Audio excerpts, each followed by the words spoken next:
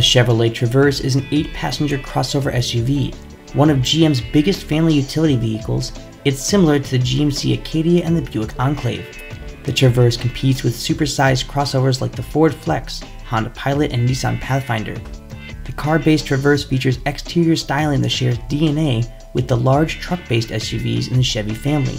Inside, it offers a functional interior outfitted with soft touch materials, contrasting stitching, wood and silver accents, and ambient lighting. The cabin's front and middle rows offer a lot of space for adults. The second row can slide fore and aft. This eases access to the third row, which is roomy enough for kids.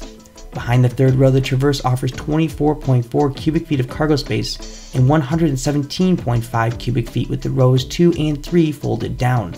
The Traverse is powered by a direct injected 3.6 liter V6 that channels 288 horsepower through a 6 speed automatic transmission.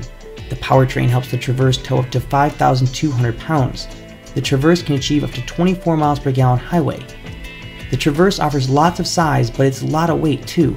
It's almost 5,000 pounds, so don't expect those 288 ponies to gallop like they're on a diet of top grade organic steel cut oats. Acceleration is adequate for hauling 7 kids to soccer practice, but that's about it. The handling lacks sports sedan agility, obviously, but the suspension tuning keeps things smooth and controlled. Standard safety features include head curtain airbags, hill start assist, a rearview camera, parking sensors, and OnStar. Siri Eyes free iPhone integration is optional. Traverses in the upgraded LTZ spec come standard with a lane departure warning system, forward collision alerts, blind spot monitors, and a rear cross traffic alert system. Traverses also offer a front center side airbag to further enhance the driver's and front seat passengers' safety. The National Highway Traffic Safety Administration has awarded the Traverse an overall 5 star safety rating. The crossover has yet to undergo the Insurance Institute for Highway Safety's new small overlap crash test, but in all tests performed so far by the IIHS, the large Chevy has earned top marks.